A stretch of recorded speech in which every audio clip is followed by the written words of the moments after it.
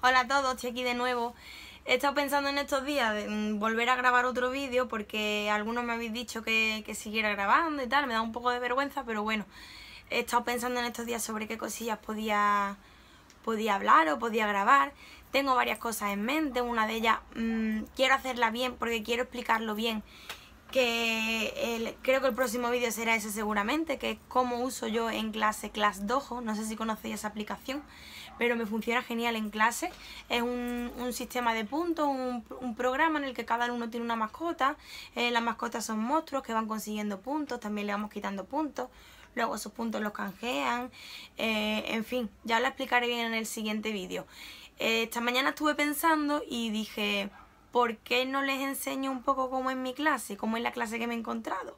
Porque ya sabéis que, los que somos interinos pues vamos cambiando de cole en cole y vamos cayendo en clases que si tenemos la suerte de que están bien, pues perfecto, pero si tenemos la mala suerte de que es una clase de desorden, pues nos toca llegar con todo, con todo el agobio, mm, ordenarlo todo, ponerle a nuestro gusto, adaptarla a nuestras cosas, en fin, en esta que he estado, que, que me ha tocado esta vez en este cole, la verdad que he tenido mucha suerte porque se ve que la seño que estaba antes que yo era una chica muy ordenada, lo tiene todo en el armario súper organizado con cartelitos, tiene muchas cosas en las paredes. En otros coles, mm, cuando acaba el curso, mm, se suelen dejar las paredes vacías, se quita todo lo que se ha colgado para que el que entre al año siguiente empiece desde cero. Y en este cole pues se deja todo porque bueno, podemos partir de ahí. Lo mismo yo hay cosas que no me sirven y las quito. Y lo mismo hay otras cosas que, que puedo dejar o que quiero dejar porque me vienen bien. Yo lo suelo ir modificando poco a poco porque me gusta que sean los niños los que, los que sean partícipes de, la decoración de su propia aula.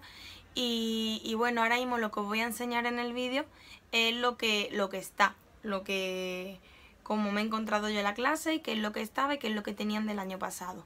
Solamente hay una cosa que he puesto yo, que son los, los monstruos, son las mascotas del Class Dojo, que es lo que quiero explicaros en el próximo vídeo. Eso sí lo tengo pegado en el armario porque ya cada uno ha elegido la suya, ya lo explicaré mejor. Y, bueno, os voy a meter el vídeo de, de, cómo, de cómo está mi clase ahora mismo, de cómo es mi clase. Así que... Bueno, aquí está la puerta de entrada, si os fijáis en la pared está llena de cuadros de Picasso eso es porque el año pasado estuvieron trabajando en un proyecto a Picasso, ahora lo enseño mejor. Ahí es donde tenemos las ventanas, la pizarra de tiza, mi mesa, la pizarra digital, los armarios que son son bastante grandes la verdad y son un desahogo muy bueno. Más armarios con más cosas. Aquí os enseño los cuadros que os decía de, de Picasso el cole, en sus puertas, cada puerta de cada clase representa un museo de Málaga. La, clase mía eh, es, como podéis ver, el Museo Picasso. Entonces ellos durante el año pasado estuvieron trabajando eh, todo lo que veis sobre Picasso. Hicieron un proyecto sobre Picasso. En este cole hacen un proyecto que se llama Puertas Regaladas que es que cada una de las clases regala una puerta, la decoración de una puerta, a otra clase. Y bueno, la puerta de mi clase está decorada como si fueran las puertas de, la casa natal de Picasso. La, clase de enfrente es el CAC y, y, la otra clase que tengo enfrente es el Museo de la Aduana. En esa tira de años vais viendo la cronología de las obras de Picasso y de la vida de Picasso hasta que en el 73 muere con 91 años. Eso sigue ahí desde el año pasado y a mí me parece bonito tenerlo hasta que no nos haga falta ese espacio y lo he dejado. Esta es la zona TIC, está un poco desordenada porque ni siquiera prueba si funciona ese ordenador, es el de los niños. Aquí tenemos la biblioteca que también está en proceso de orden. Eh, si me da tiempo la voy a ordenar hoy, ahí tenéis las distintas manera en las que voy a dividir los libros, la que lo han hecho ellos, lo han hecho los niños, han sido ellos las que lo han clasificado y le vamos a poner a cada uno una pegatina eh, para clasificarlos por color. Aquí están las pegatinas, son estas, unas tiras adhesivas. Luego la enseño ordenada, si me da tiempo. Los miércoles fruta, esto es que hay un día de fruta a la semana en el que se le da un puntito a los niños que lo traen para fomentar un poco el desayuno saludable. Esta mesa es un poco para guardar los colores, las bandejitas de los colores, el calendario que lo tachamos todos los días. Debajo están los juguetes para cuando tienen tiempo libre, las cajas con, con diferentes juguetes. Eh, este panel de aquí eh, es el panel de lo que ellos a principio de curso del año pasado, tras muchas asambleas y debates, llegaron a la conclusión de que era lo que querían aprender en primero. Y estos son los proyectos en los que se centraron en el, en el curso. Las plantas, bueno, ahí tenéis las ideas que iban dando, las flores, las plantas, los animales, el planeta Tierra. Luego le iban poniendo un puntito a aquellos que iban estudiando. Y los que no tienen el puntito son los que le quedaron por ver, que seguramente este año empecemos por ver esos temas que el año pasado querían estudiar y no pudieron estudiar. Aquí en este panel tenemos las normas de clase. Son normas que ellos mismos han elaborado porque ellos las consideran importantes, porque las han estado debatiendo y han tenido situaciones o momentos en, los que les parece adecuado tener estas normas. Las, las han clasificado en normas para el patio, normas para la clase y normas para la fila. Y así no, se, no es el maestro el que le impone las normas, sino que son ellos los que las deciden. Aquí tengo mi pizarra de tiza, esta es mi mesa. En el cajón tengo un poco las cosas desastre de, utilizar más a mano que necesito, el disco duro con todo el material informático que tengo, la pizarra digital, los armarios, bueno, esta canasta, aquí tenemos los libros ilustrados, que a mí me gusta tenerlos aparte porque me gusta leérselos a ellos y enseñarles los dibujos a la vez que ellos me escuchan. Estas dos grandes flores nos dicen cosas que les gustan y cosas que no les gustan, con dibujitos que ellos han decorado. Esto estaba del año pasado. Estos son los monstruos que yo digo que, he puesto, son las mascotas del, del Class Dojo. Cada uno de ellos ha elegido su mascota y cada uno de ellos está representada por una, por una de ellas. Ahí tenemos una colección de libros. Esos libros que hay ese montón son de cuentos de la biblioteca que como son muchísimos he quitado unos pocos para que no se aburran de ver tantos y ya dentro de un tiempo pues los cambio por los que hay. Hay cajas de materiales, el ciclo del agua y tal.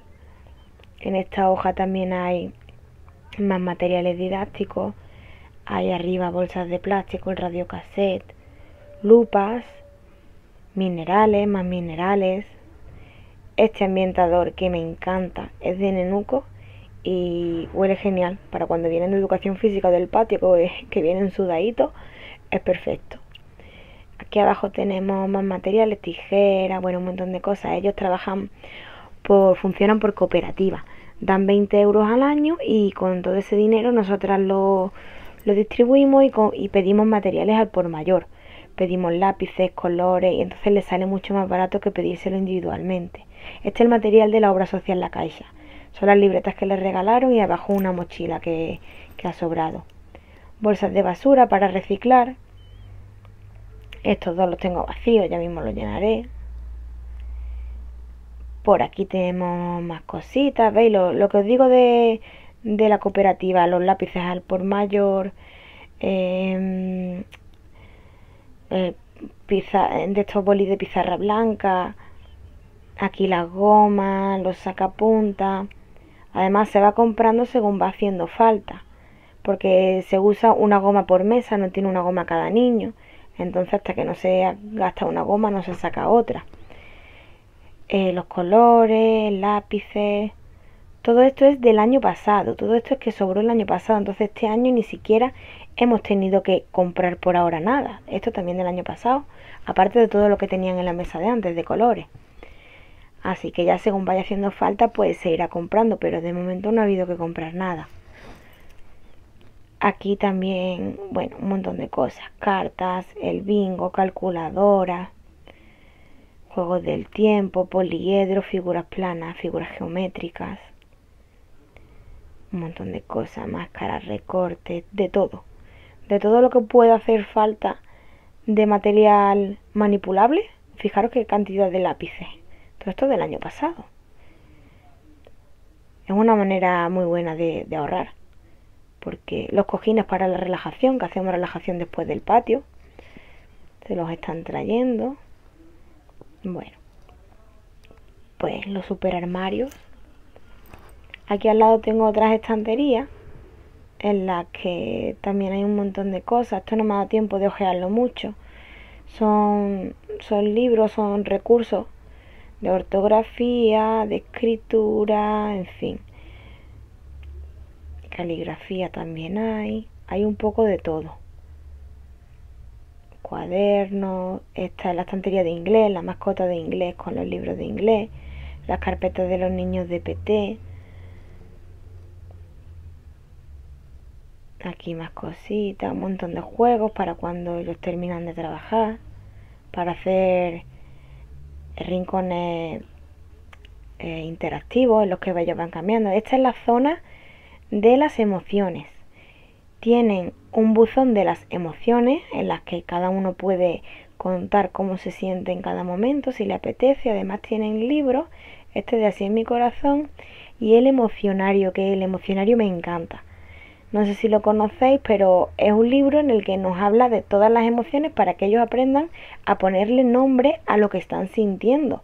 Porque muchas veces se sienten frustrados, sienten tristeza o no saben expresar qué es lo que sienten.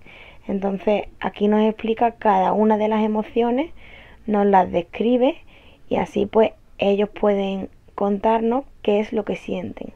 ¿Veis? Tristeza, alegría, felicidad, serenidad, alivio. Y como os prometí, ha llegado la hora del recreo y estoy aprovechando que hoy no me toca vigilancia para ponerle las pegatinas con los colores a los libros de la biblioteca de aula. Cada, cada sección de libros tiene un color, los voy clasificando y los voy poniendo en la estantería para que cuando lleguen lo tengan todo ordenadito y ya poder tenerlo siempre todo organizado. Y aquí está la biblioteca ya ordenada, diccionarios arriba, libros separados por temática, los cuentos con la pegatina azul, la regadera para separar, aquí tenemos las cosas para hacer, manualidades, etcétera, investigación de color verde, el osito para separar, le he puesto la pegatina arriba para que se distinga de la pegatina de la biblioteca. Y bueno, espero que os haya gustado y hasta el próximo vídeo.